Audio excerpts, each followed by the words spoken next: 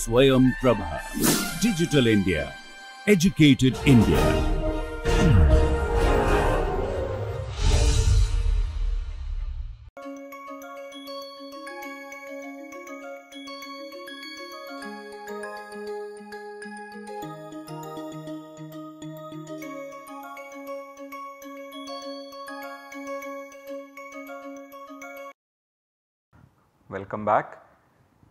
Started a new theme in our last lecture. We are studying binary quadratic forms over integers. So, these are also called integral binary quadratic forms. So, here by form we mean a homogeneous polynomial. Binary form would tell you that it is a polynomial in two variables. So, we have a homogeneous polynomial in two variables and by quadratic we mean that it is of degree 2. So, it is a degree 2 homogeneous polynomial therefore, it will have monomials x square, xy and y square. There are two variables so the variables are x and y and the degrees are 2. So, you can have x square, you can have y square and you can have xy and then you have the linear combinations of these three monomials giving you a homogeneous degree 2 polynomial in two variables. But where do the coefficients a, b, c come from? So, you have a form a x square plus b x y plus c y square where do the a, b, c come from? They come from integers. Therefore, these are what are called integral binary quadratic forms. We saw this definition in our last lecture. So, here a, b, c are integers. We can take them from a more general set of numbers. So, I told you in the last lecture that we should be able to put values for x and y from the same set where a, b, c are taken from and therefore you should be able to have the property that the set has addition and multiplication and since we do not want to write xy and yx separately it should better be commutative with respect to multiplication. So, such a thing is called a commutative ring. So, you may have the set of complex numbers, you may have the set of real numbers, you may have the set of rational numbers and there are many rings in between these rings. So, the A, B, C can take values coming from these rings. There are some more general set of rings, but we are going to restrict ourselves to integral such forms. So, in what follows throughout this theme I may sometime write for this form to be a quadratic form or I may just say a form, but we always understand that we are going to consider only the integral binary quadratic forms. Now the main question in this theory is to find the value set of such a form. So whenever we are given such a form f x y, we want to know what is the set of values f m comma n where m and n are integers. So we are going to take all possible values of integers for m and n we put these values in our form. So, we are going to get a m square plus b m n plus c n square. We are looking at the set of these numbers and we want to determine.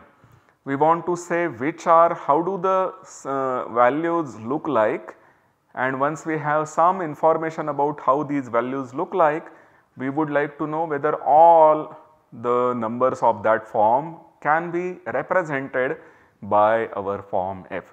We will soon see an example. So, this problem will be clear very soon, but what we want to do uh, while studying this also is to have some transformations.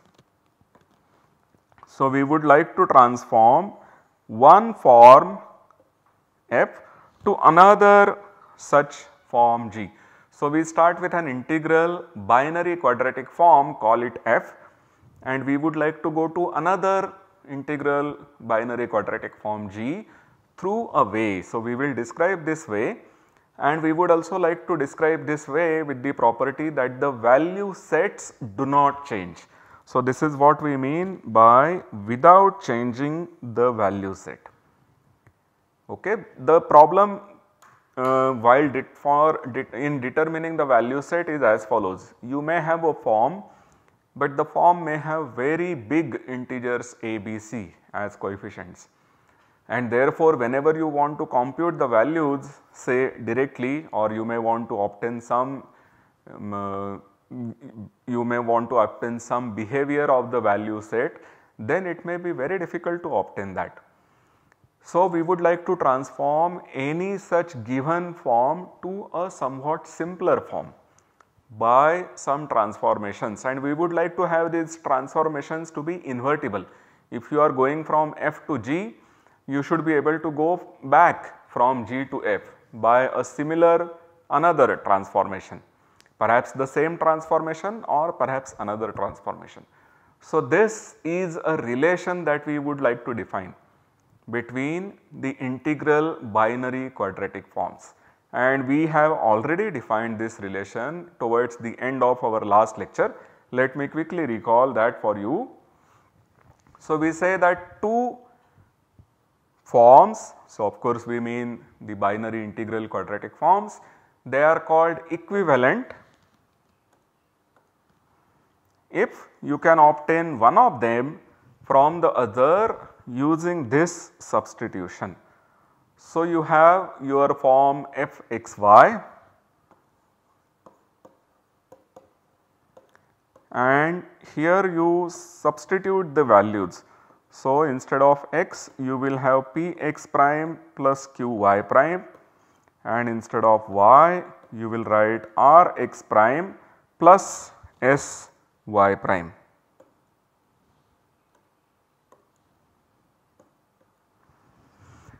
So, this will be another form in new variables x prime and y prime and this new form a different integral binary form will be said to be equivalent to our earlier binary form f.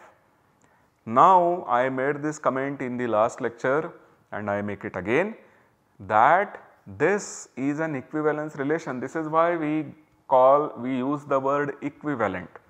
Normally mathematicians are very careful while using words.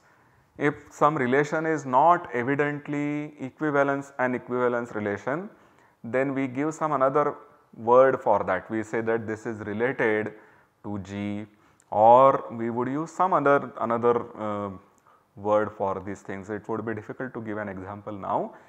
But uh, here we are saying, so even from the definition you may notice that we have not explicitly said whether we are obtaining f from G or whether we are obtaining G from f.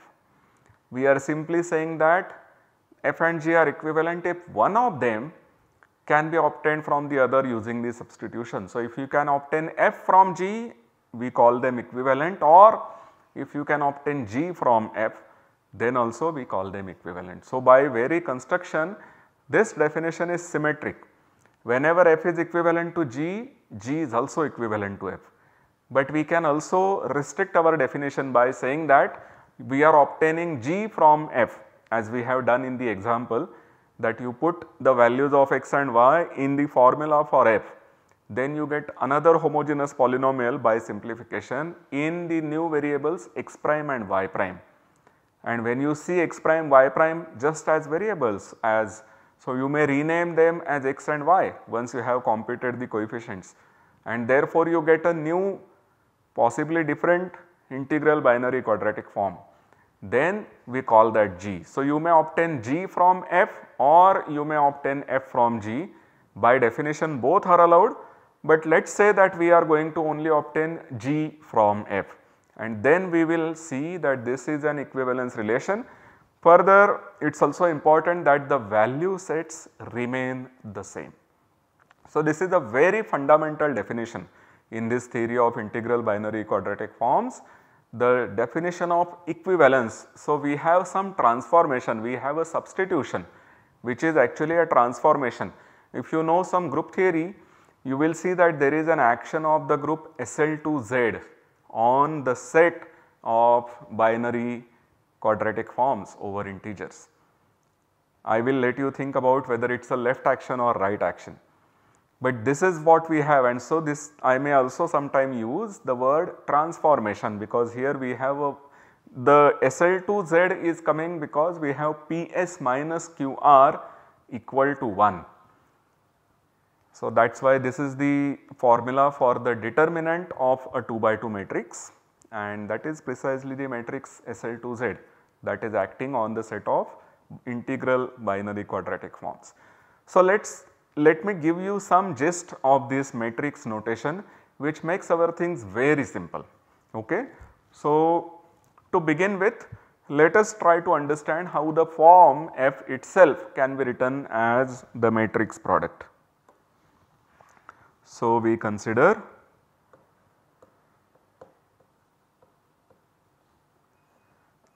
x comma y, we are taking it to be a row vector and here I have this 2 by 2 matrix Note that this is a symmetric matrix and then I multiply to that by a column vector. So, the vector which we have here the row vector and the column vectors these are transposes of each other that is one thing that we notice. Let us try to compute this value. So, we first obtain the left side multiplication and that would be Ax plus By by 2 comma Bx by 2 plus Cy and now we multiply to it by the column vector xy and we see that this is earlier. So, this was a 1 by 2 matrix, this is a 2 by 2 matrix and this is a 2 by 1 matrix in the end we are going to get a 1 by 1 matrix. So, this is 1 by 2 and this is 2 by 1. We will get a 1 by 1 matrix which is A x square plus this will give me B x y by 2 and this also gives me B x y by 2. So, I just have B x y and finally we have C y square. So, we have written our integral binary form in the following way equal to x transpose A f x. So, what is our capital X? Capital X is the column vector x comma y and AF is this 2 by 2 matrix. So, this 2 by 2 matrix is obtained by putting the coefficients for x square and the coefficient for y square on the diagonal in that order and the coefficient of xy is divided by 2 and then we put it in the off diagonal entries. So, this is the way we obtain uh, the value of the integral binary quadratic form in terms of a matrix product. So, f x y or you may also call it f of capital X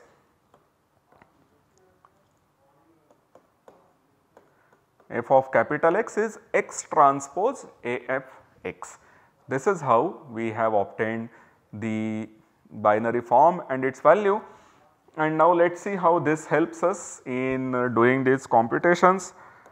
So, once again this transformation x going to this and y going to this can be written as x y which can be written as p x prime plus q y prime and here we have r x prime plus s y prime.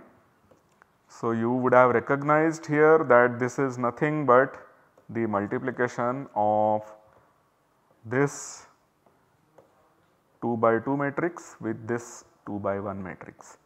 So, we have p x prime plus q y prime and r x prime plus s y prime. So, we have capital X to be capital U into capital X prime where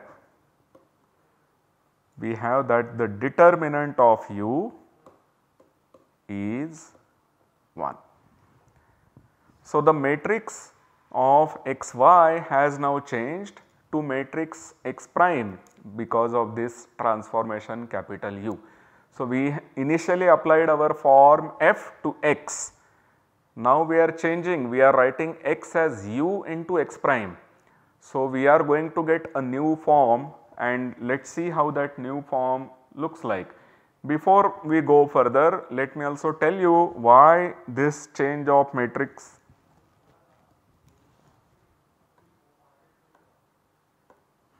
Before we go further let me also tell you why this change of variables is invertible. This is precisely because the determinant of the matrix U is 1. So, we have a 2 by 2 matrix with integer entries. If its determinant is 1 or minus 1 then its inverse is also going to have integer values. The entries in the inverse are also integral. So, whenever we have x equal to u x prime we have x prime to be u inverse x and here u inverse is also an integer matrix.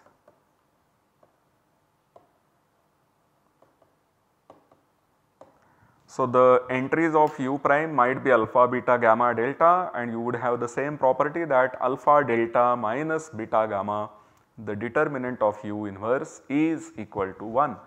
So, we have the same way when you go from x to x prime by applying this matrix u of determinant 1 you can go come back from x prime to x by applying u inverse which also will then have determinant 1 and because the determinant of u is 1 u inverse will also have integral entries.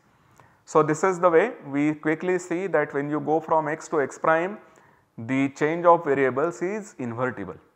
In fact, the uh, relation among the quadratic forms is simply given by the change of variables and now it is easy to see for you that when you have two matrices of determinant 1 their product is also going to have determinant 1. So, when you go from x to x prime and x prime to x double prime you are actually going from x to x double prime by means of a matrix whose entries are integers and whose determinant remains to be 1. This quickly tells you that it has to be an equivalence relation. But let us see further. First of all that the value sets are the same. This is observed because we have our change of variables to be invertible. So, the value sets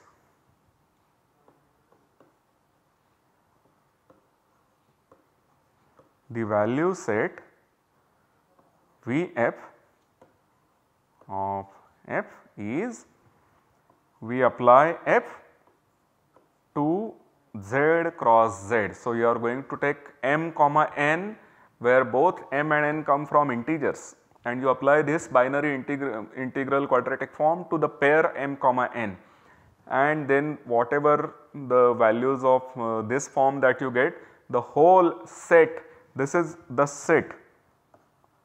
Whenever you have a function from a set x to a set y and you take a subset of x say w then f of w is a subset of y and it is the set of all values f of small w where small w belongs to capital W. So, here you are taking f of all m comma n as m and n vary over integers. So, this is the value set and the value set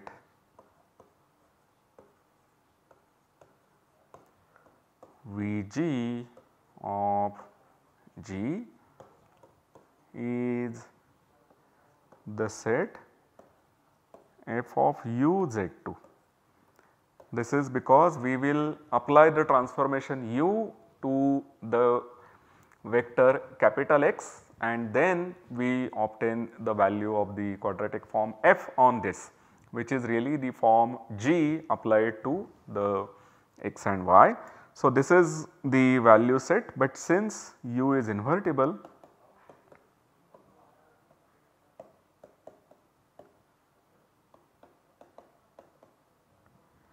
it follows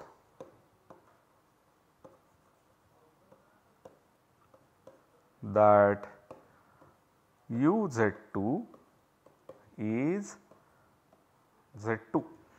So, let us think about this. We have applied u to the column vector say m comma n coming from z2 and therefore after applying u to mn we get some one more column vector. So, we get an element in z2 again.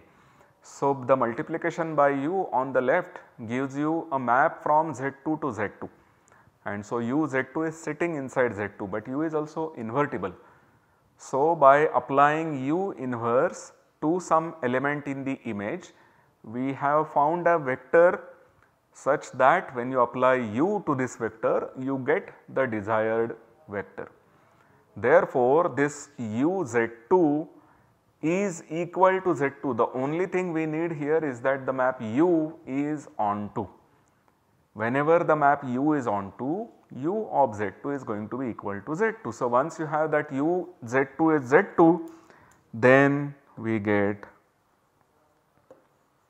that f of u z2 which is really the set Vg is same as f of z2. So, this is Vg and this is Vf. So, both the value sets remain the same whenever we apply these transformations both the value sets are the same. So, we are not changing the values by applying these transformations. But let us also understand how these transformations look like when you, you go from the matrix AF which was the matrix for the quadratic form F to the matrix AG for the quadratic form G. Let us also try to understand that. So, we have understood that f of x y, so f of capital X is nothing but x transpose A f x and similarly when you apply g to x you get x transpose A g x. These are the definitions of the matrices A f and A g. And now we are going to get these values that g capital X is nothing but f of u x. And so this is obtained by this formula. So, we are going to apply the formula to u x. The transpose will give me x transpose u transpose a f u x. So, we have this quantity here and we have this quantity here since these are same for every x in Z2 we then get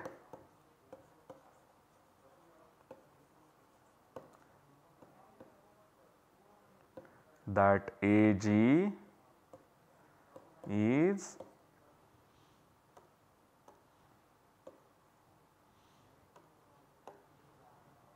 U transpose AF U. So, we have a matrix of determinant 1 of course with integer values such that the matrix AG is related to the matrix AF by the formula that AG is U transpose AF U. And now it is easy to see once again that this is an equivalence relation in a different way because if you uh, if you just put f on both sides you want to relate af to f you take u to be the identity matrix. If you have ag in terms of af and you want to write af in terms of ag you will take the inverse of u. So, you have the reflexivity, you have the symmetry and now you want to get the transitivity which is also very easy because product of two matrices with integer values of determinant 1 is again an integral matrix whose determinant is equal to 1. So, what we have seen so far is that the transformations applied to the binary integral quadratic forms keep the same values and further this is an equivalence relation. Let me quickly define the discriminant of a binary form. So, I also after having talked about transformations, I talked about an invariant. So, here is one invariant. We start with a binary quadratic form over Z. We start with an integral binary form ax square plus bxy plus cy square and we define its discriminant to be this quantity b square minus 4ac. So, this is an integer moreover it has the property that modulo 4 this is a square. So, d is congruent to b square mod 4. Now, we have seen how squares look like modulo various integers and in particular modulo 4 this computation is very easy. We know that all squares modulo 4 are 0 or 1 and therefore it follows that the discriminant of a binary integral quadratic form is always 0 or 1 mod 4. Now there are some natural questions most importantly what is the use of the discriminant First of all we should also see whether it is invariant under the change of variables that we have introduced. So, we will see that we will also see a small answer to a small question that if you have an integer d which is 0 or 1 mod 4 is it discriminant of some form. So, we are going to see answers to these questions and many other related questions in the coming lectures. So, stay tuned. Thank you.